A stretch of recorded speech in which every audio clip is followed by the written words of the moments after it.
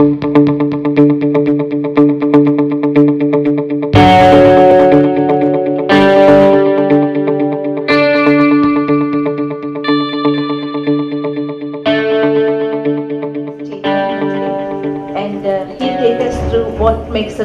uh, video script and he's going to tell us about himself before he does that. Over to you. Thank you. So, that's the topic for this session. So first, let me take you through the agenda of this session. First, we'll discuss why videos. Then we'll discuss why videos fail. Then we'll talk about scripting the video.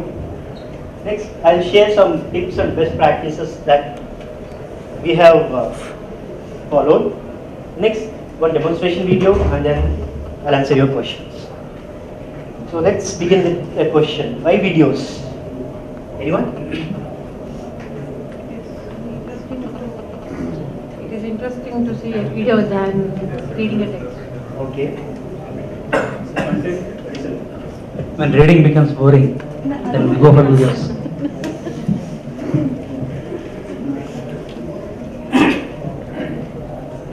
So uh, content is actually moving very quickly towards uh, you know a more visual impact rather than only reading.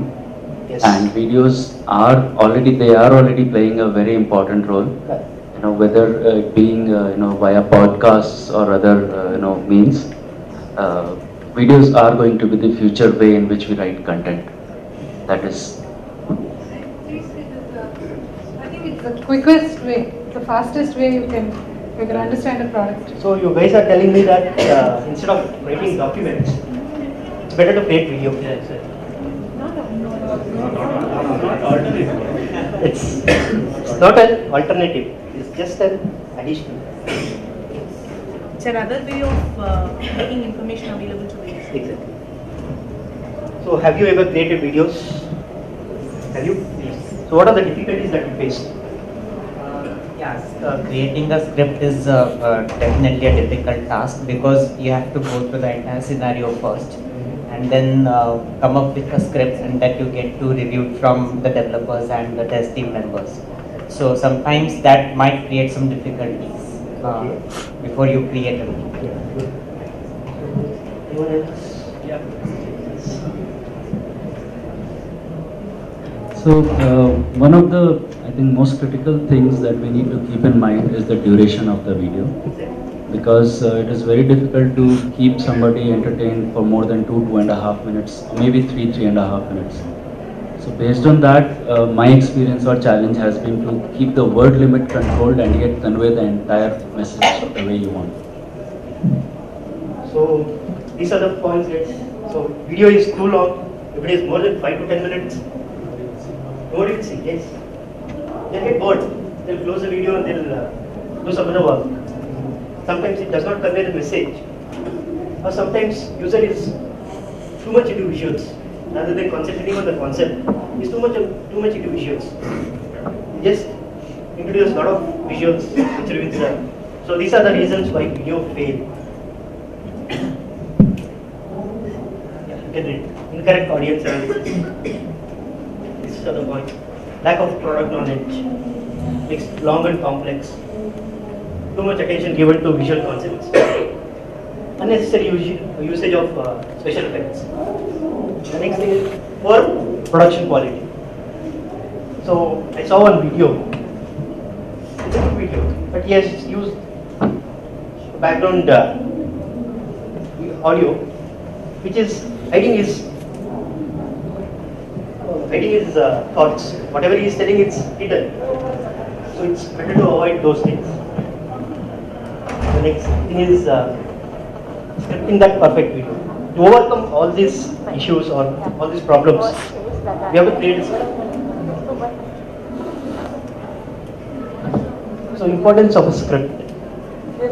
Yeah, as you said, scripts are very important to create a video. First thing is why why script? So these are the points that concentrates on the importance of script. Organizes your thoughts. Suppose uh, you are creating one video, you have scripted everything, you have written it down. One developer will come and say, hey, there is one uh, critical bug, you have to concentrate on that first. You have to resolve that first and then you do whatever you are doing. So you'll be busy with that, resolving that issue. So you'll come back and you'll wonder what, what, I was doing, I was creating video. So this script, it organizes your thoughts and it also helps you in deciding which information should go or information can be omitted. Correct? Determines the flow. So in script, you follow step by step. That is what should come first, then next, then how to finish it. Ensure consistency. Let's assume you are creating some five to six videos. So you have created already created a video which already has a script. So using that script as a base, you can create multiple videos. Helps interpret abstract concept. So let's assume uh, your project manager or project owner comes up with an idea. So he wants to create a video. He'll give you a lengthy text, two to three pages. So he'll tell you to create a video. So what do you do? So you get everyone on the same page. Let's assume uh, I think you are good in writing, right? And your voice is good. And your voice is very good. So you are located in Bangalore and you are located in Chennai. So you create a document, so you'll not be having any idea. So you use this script as a base, you share it with him, so he gets to know what the idea is. So you can uh, use the script and you can read out and the points that we should uh, make sure or we should take care before writing a script. Is identify the stakeholders. So have you come across this? Identify the stakeholders. So same thing follows. So whatever you follow while uh, creating a traditional document, same thing follows here. First you have to identify your stakeholders, talk to them, decide on the topic. Next, confirm the objective of the video. Next, here I would like to make an example. So you are creating a video, marketing video. Let's assume marketing video. So there your objective is different.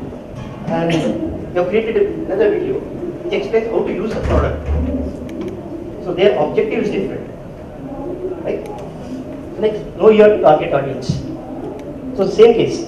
So for marketing, your audience is completely different and uh, start the script or even if you decide that I'm going to work on this video, right? Or or it's, it's it should not be part of the process, I guess. Review process, uh, it's like already you are done. Correct. It's a part of prerequisites. So it's better once you start, once you have written the script, that time it's better to follow. Before you take a decision whether I should invest time behind this, it needs to be done. Yes. It's the thing here is get everyone on the same page. So for that reason, How you do, sorry. how you do that, how you making a decision like I'm going to work on this. So we discuss with the, uh, your project manager. the tricks that These are the checks, sir. First you will decide, means talk to project managers whether, uh, you, let's assume, you have an idea to create a video. So you talk to your project owners, whether that is feasible to create a video or not. That you will decide. So you'll come up with an objective title, everything you come up. So you'll say to scope review, whether that is sounds good or should I change it or how uh, it can be modified. So here support team can also come into picture.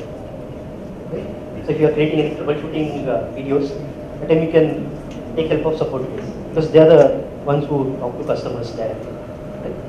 That's your question. Next is usability review. So this comes after you have captured the video.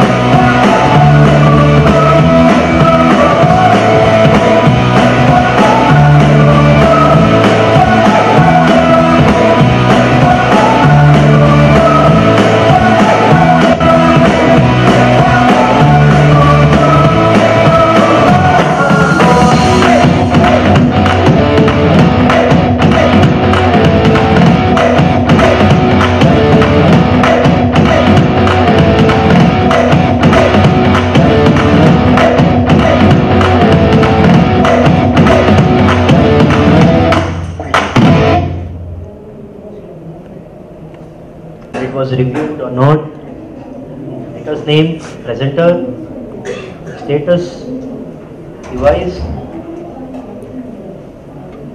approval for posting. So once you have captured all the videos, then this comes into picture. Next is objective. Audience level, scenario description, functionality. Next here. First scene, what will be the voiceover? What will be the visual?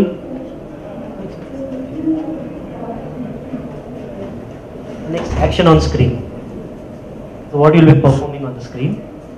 And if any additional information that you want to add, you can add it here.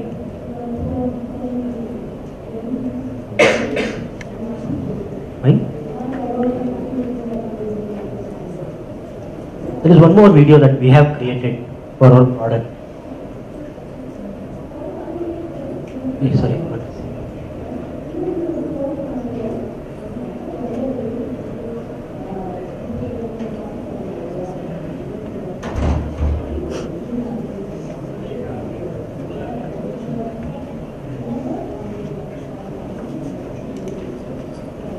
Welcome to Microfocus ZenWorks video demonstration. In this video, we will walk you through the ZenWorks License Compliance Dashboard. ZenWorks 2017 introduces the License Compliance Dashboard in the Asset Management module. Software asset management is a business practice which deals with the lifecycle of software deployment on various IT systems in an organization's network. ZenWorks Asset Management provides you with tools and practices necessary for software asset management in an organization. The dashboard provides a quick overview of all the software products that are under licensed, over licensed, and compliant. It also displays the top licensed products along with their deficit, surplus, and balanced license counts. To effectively manage licenses and compliance of software products installed, a software asset manager should be able to access all the vital information in an easy to read single page interface that graphically depicts the license status. You can use all this information to take swift decisions such as procuring new software licenses, reallocating licenses instead of buying new licenses, and reallocating unused software to avoid non-compliance fines. In the License Compliance tab, if you wish to view the list of products that are under license, click the number associated with under-licensed products. List of under-licensed products is displayed. Similarly, you can view the over-licensed and compliant products.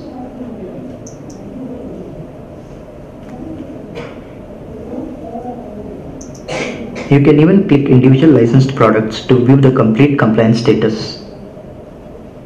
Let us move on to the license product tab. Using this tab, you can view the complete details of all the licensed products in one single page. You can use the search and filter options to narrow the search results for a particular licensed product.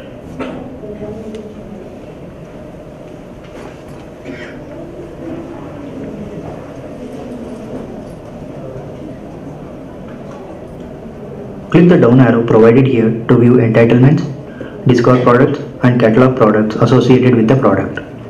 To ease the burden on asset managers, all the licensed product details are clickable. To get more details, click any link. To- Yes. If I out any mistake in English?